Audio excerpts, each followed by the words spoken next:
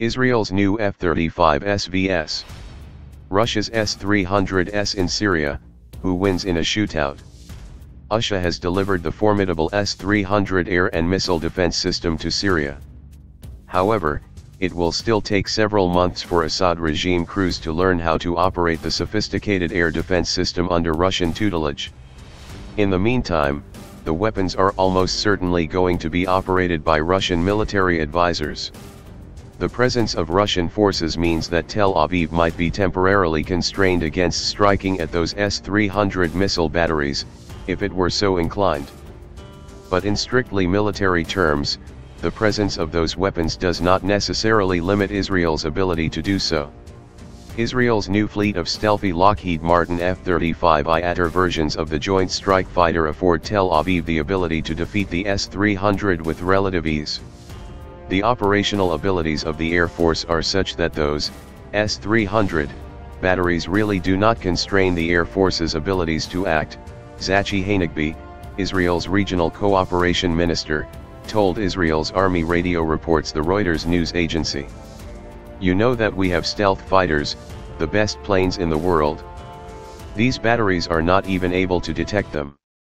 One of the F-35's primary missions from its very inception has been the suppression, SEAD, and destruction, DEAD, of advanced enemy air defenses such as the S-300.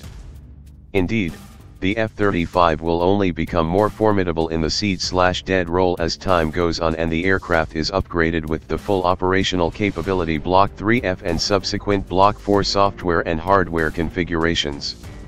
Tel Aviv declared its F-35S operational in December 2017 and recently signed an agreement in February with Lockheed Martin to incorporate Israeli-specific modifications to bring its planned 50 aircraft fleet to a Block 3F end configuration by December 2021.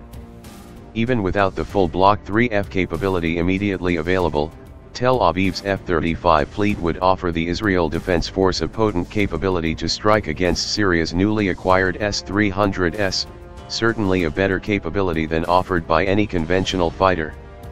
However, there is little prospect that Israel would attack those batteries while the Russians still more or less have those weapons under their direct control. According to the Russians, it will take roughly three months for them to train Syrian S-300 air defense crews. We have finished personnel recruitment and have begun to train them, Russian Defense Minister Sergei Shoigu said on Tuesday according to the state-owned TASS news agency. Shoigu also officially confirmed that the Russians have delivered the S-300 to Syria.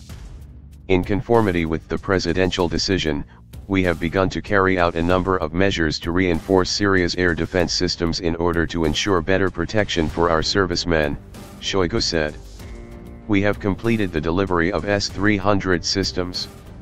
It included 49 pieces of equipment, including radars, control vehicles, and four launchers. While the Syrian forces are being trained, Russian forces are likely to retain control of the S-300S and operate those weapons under their direct supervision. Such an arrangement should prevent any rash actions by the Syrian regime and also put a brake on any Israeli plans to strike at the missile batteries.